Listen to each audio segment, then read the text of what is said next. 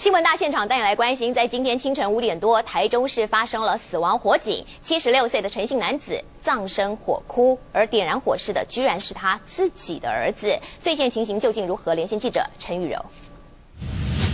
好的，主办人透过画面可以看到呢，窗户还冒出阵阵的余烟。那么事实上，这起火警是发生在台中市东区石甲东路凌晨五点多发生的火警。那么火势呢是在十多分之后是被扑灭了。不过警消人员还是在二楼发现了陈姓男子，也就是七十六岁老父亲的尸体。那么邻居事实上呢是在将近五点多的时候，听到五十四岁的李姓男子呢和四十六岁的陈姓男子，他们也就是兄弟俩呢发生了争吵。期间呢是不断的在屋内呢听到有人在扔纸东西的声。声音。那么等到五点二十分的时候呢，警方是获报有人情绪不稳，打算持刀要轻生。到场的时候是发现大哥已经将一楼铁门反锁，打算同归于尽。我们来听一下死者妻子以及邻居的说法。那个隐隐隐隐退哦，对啊，唔知那点就对。头啊，想要关要关啊，啊你想要想要关关啊。啊有啉酒无？无啦，你买。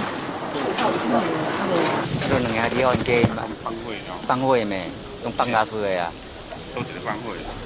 啊嘛，阮就上个第二个咧啊。系啊。哎，正常你讲你，我在讲你，我去跳，就就是听大细声，唔知唔知背起来。好的，这起纠纷疑似大哥和三弟发生口角争执之后呢，大哥是对着三弟泼洒汽油之后点燃，造成三弟全身百分之八十的二度灼伤。那么大哥在纵火之后呢，是持刀朝自己的颈部划过，造成颈部撕裂伤。二哥呢是幸运的开门逃出，但是父亲身在二楼，来不及逃难，当场死亡。以上是目前现场最新情形，将镜头交换给彭丽主播。好，没错，你看到的是发生在今天凌晨这兄弟吵架结果引发的大火悲剧。